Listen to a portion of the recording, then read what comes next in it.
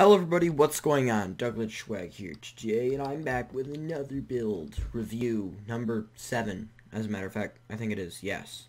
And this build review, as you can see, is actually built by me and Dog, and it is Steampunk Airship. That is the theme that was going on in the build-off on the Mindsquish server, so that's what I, I decided to enter in.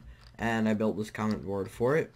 Um, it's actually there, if you can, yeah, you can see it up there but I built this comment board for it. I put probably way too much time into it, but you know what, whatever. Um, since nobody would comment on it, I left my own comments on it, like, wow, 1010. Truly stunning. How did you do this? And please be my master. I left them on my own build because, you know, I'm just like that. Anyway, let's get on to the build. So, let's start out with the balloon. The balloon. Okay, so... Right. what is that? I've never experienced that before. What is that blue? that is weird. Anyway. Okay, so how I made this balloon is I to make like the base of it or the actual white part the in this kind of uh, I don't know what kind of football shape I don't really know what shape that's going to be. It's like a lopsided, uh, squished down sphere. Um, I actually, what I did, because I really couldn't make this without any, like, external help, I spawned in a sphere with messed up dimensions to make it look like this in a single player world where I had access to world edit, and then I literally copied every single block from the one in single player into the one right here, so it's the exact same one. Um, anyway, yeah, that's that and then I just put a bunch of outside decorations on it like these um, things going around it twice and then a thing going through the middle and I just made it all fancy and stuff because that's what I like to do. I like to make stuff fancy no hate. Um, on the back of this it's got like a double block wide propeller. It's actually simple. I meant to make it look like it was turning but I mean it doesn't really matter. This looks fine enough. It's just like a double propeller. Um, yeah, that runs, I guess.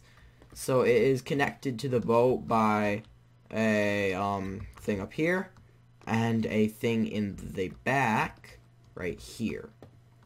And uh, actually the center control center, I call it, is actually connected as well to it, but it doesn't actually go into the balloon. I'll, I'll show you later.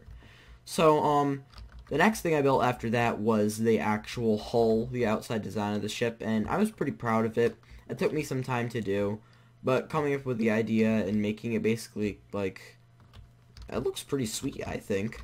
How it comes out like that, and then comes back in and raises up for the back, and it has two protruding, um, steam pipes, or steam, smoke, engine, whatever you want to call them, they're there. It has a dark oak wood trim on going down the downside of it and along the side like that, which is pretty awesome. Alright, so that was basically the ship, and then I worked on, after that, the, basically above. I put, I lined up the, uh, got the outside, I guess, with these anvils connecting to each other and, uh, like, different intervals with, uh, cobblestone slabs on them um, which looks kind of nice. I made uh, birchwood the floor for kind of a contrast against the dark wood and the oak that I've been using a lot, kind of dark colors. Decided to do a nice light color. looks pretty nice. Um, and the next thing I built after doing basically the entire floor and the side things is I think I worked on the downstairs. Originally what I actually had was right here. There were two holes like right here and right here that um went down like with ladders, but that ended up looking pretty bad and me and Dog decided to get rid of that. We made this little shell over a staircase that goes down. So the next thing I designed was this. And this is the downstairs. Dog actually worked on the downstairs a lot. He made uh, this pipes, propeller, and engine kind of light signaling that they're all on. And it looks pretty nice. Then if we go down here, we have the um, uh, captain. We have the not captain. We have these uh little like crew bunks that are kind of really pathetic. But you know, when you work on the steampunk I don't know. I don't even have a name for this. It's like the steampunk Sammy. I don't know. When you work on this boat, you don't get no comforties. That sounded weird. Anyway, next up, engine room. This is one that Dog also worked on. It's pretty actually. It's actually really cool. Um, it has an engine, and if you actually turn the lever on, it will start this clock of pistons right here. That looks pretty cool. Like it's kind of doing something. It looks cool. And I put like a thing here. Warning, will cause a redstone clock to turn on. Turn it off when done. Thanks, steampunk crew. Alright. And, um... Yeah, that's what it is. And it ignites an, a fire, too. Which is really cool. And if anything is when you turn it off, the pistons will stop. But the fire keeps going because it's Netherrack, so we have to destroy that and um, reset it every time we turn the engine on. Oh, no, I just threw that out. Cool, cool, cool. Anyway, I like the downstairs. It's pretty, it's pretty actually uh, three blocks high. It's very roomy, unlike some other people's. That's the downstairs. Pretty cool. Next, I designed after that was this thing here. Originally, the entire ship had been flat. So this had been just flat going all around. And then Dog and I, we decided to um, raise it up and have it be have there be a captain's quarter. So I raised it up, and then I designed a little walkway up. There's nothing really up here, just some space. The balloon connects up here, and you can kind of see it. And there's some space up here, and I just look around, admire the sights of other people's builds that are kind of bad, except for that one. That one's pretty good. Anyway, below this is the captain's quarters. When you go in, um, the there's like a three bed, not bled, a three bed in the, the ground. The floor is kind of messed up, but nah, whatever. It's a concoction of colors. Okay, he's got a desk with some random thing on it. Got a table, uh, some uh, windows on each side, bookcases, and a I don't know coat rack maybe something like that. Pretty pretty simple, pretty simple in there. So that is the captain's quarters. After that, there's really only one more thing to show you, and that was the last thing I designed, is the um, control center, I call it.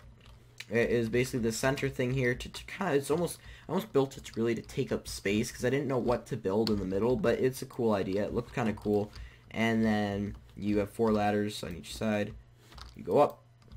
And then all these buttons do different things, and they're like, this is like the control center. So this one, cuts power to the main engine. This one fires all nukes. This one self-destructs the entire ship. This one overclocks the engine to max power. So they're kind of opposites. Um, this one destroys enemy plans, and this one plays the MacGyver theme over the PA speakers. Let's let's let's use one. Let's use this one. Activate MacGyver.exe. Yep. So that is basically the build. It's pretty, uh, I really like it. Oh, yes, that's right. Um, we have some, we had built a couple large cannons on the side of each one, and they're actually operational too. It's so cool. What we actually did is we made, um, I can open this dispenser. Oh, that's right, I can't because, um, on the server, they have, uh, like, if you make a dispenser, other people can't go into it and take stuff. So, Dog actually made these cannons I helped with the design of them, but he made them, so I can't go into this this this dispenser. Can't go into the dispenser. But inside there is just red fireworks, and if I fire it, they'll fire out and explode into a ball. How it actually works is that the firework fires through water, and it makes it go straight through this tube and then out. So that's pretty cool. We have two large operational cannons on the side that you can fire, which is awesome. Yeah. I don't think there's really much else to show you, peoples. Well, that's it, guys. Hopefully you enjoyed this um, build review. I had a lot of fun building it. It was something new for me because I'm not really that good with ships, though I do. I am working on actually a really cool ship in um, single player right now that is turning out really well that I'm gonna might do a build review on in the future. So stay tuned for that. And uh, yeah, hopefully you guys enjoyed this be sure to leave a like. And I guess I'll see you guys in the next video.